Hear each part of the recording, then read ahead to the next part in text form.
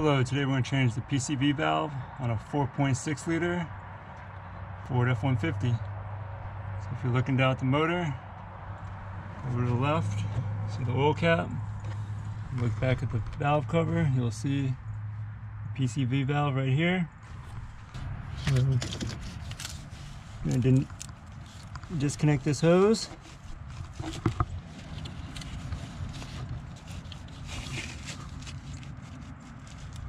A pair of pliers on it and then just twist it.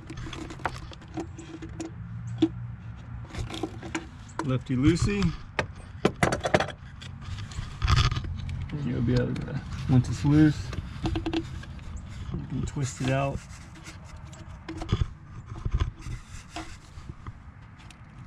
And just pull out. Sounds like this one still works fine. There it is. I've changed it once before at 100,000. Changing it again.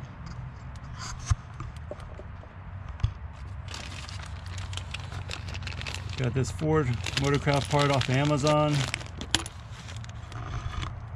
I'll put the part number in the description below.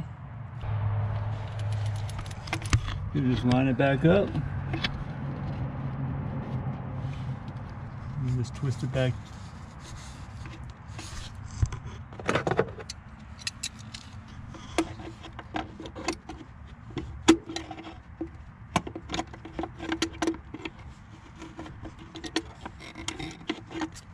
one quarter of a turn.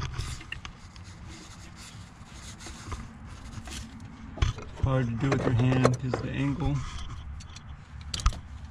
It's one quarter of a turn.